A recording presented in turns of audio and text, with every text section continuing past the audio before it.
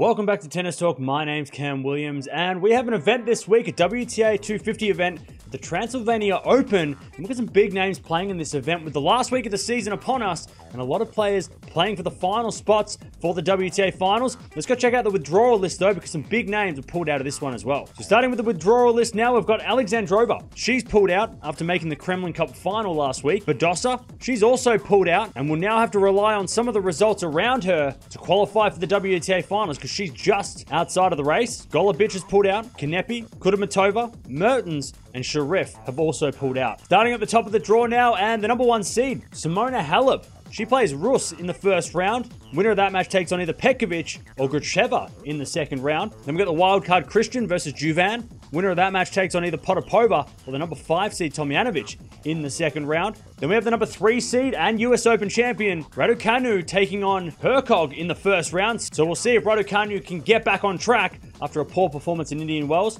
Winner of that match takes on either Bogdan or Jorovic in the second round. Then we have a qualifier versus Barthel. Winner of that match takes on either Pera or the number six seed Kostyuk in the second round. So the players we're watching out for, the big names, the Grand Slam champions, Halep and Raducanu. Got to watch out for both of them. Interested to see how Halep does. It's the final week of the season for her, so playing in front of her home crowd, let's see how she can do in this event. And Raducanu, can she rebound after a poor performance at Indian Wells? Going to the bottom half of the draw now, and we've got Begu, the number seven seed, taking on the wildcard Bara. Winner of that match takes on either Osorio or Peterson in the second round.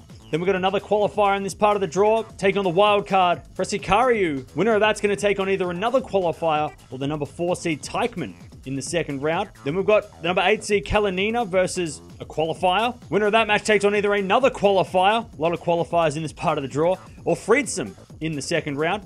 Then we've got Kovinic versus Van Uytvanck.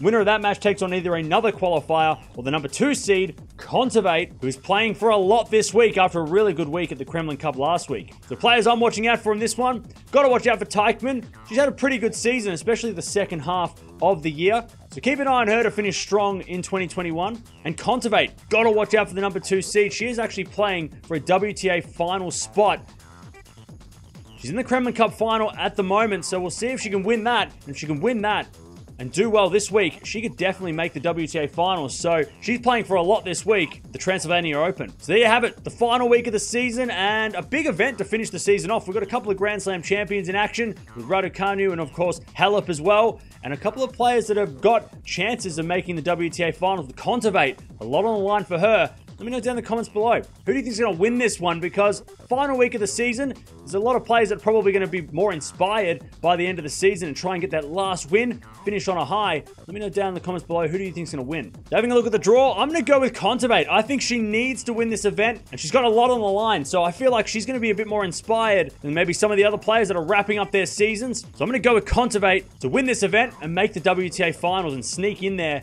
at the last moment. Again, let me know down in the comments below who do you think is going to win. It's the final week of the season. We're going to the Transylvania Open with some big names playing.